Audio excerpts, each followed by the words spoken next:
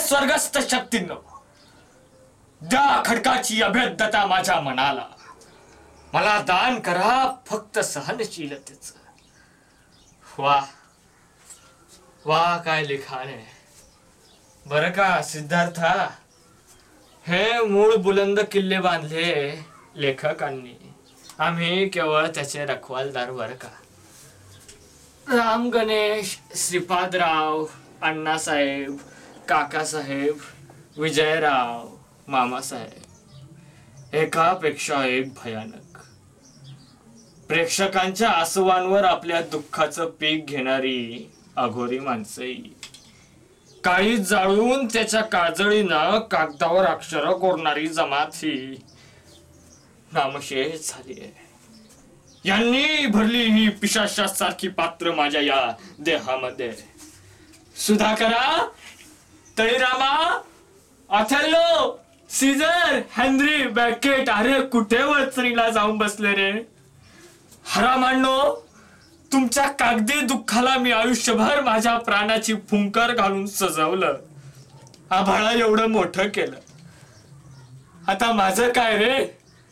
माझंही दुःख तितकंच असेल रे. धारधार होऊन काळी चिरताय पण खुंटा एवढंही वाढेना.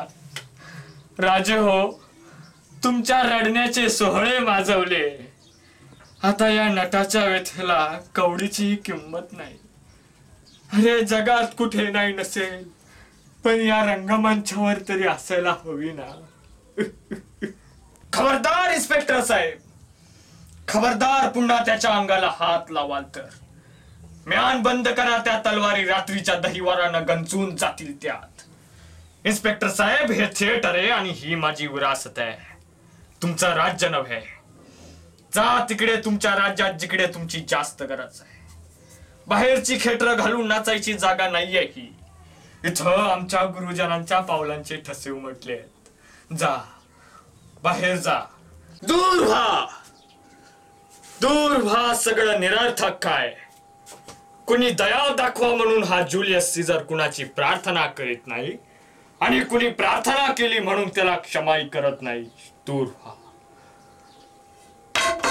आता या लकाकणाऱ्या आकाशात अढळपण मिळवायचंय ध्रुवासारखं जगणिक माणसाच्या दुनियेत मिळवलं होतं जुलियस सीझरनं आणि तो मी आहे जो आपल्या जागी ठामपणे उभा आहे तो मी आहे जुलियस सीझर मी आहे प्रतापराव. मी ऑथेल्लो. सुधा आकारिणी हेमलेट आणि मी आहे गणपत रामचंद्र बेलवलकर नटसम्राट. सारे महापुरुष माझ्या या देहाच्या शामियान्यात राहायला आले. आणि महापुरुषाची छाती म्हणजे मारेकऱ्याच्या कट्यारीला वार. सगळे मारेकरी घेरून आहेत. साऱ्यांनी कट्यारी उपासल्यात पण मला पुढं जायलाच पाहिजे.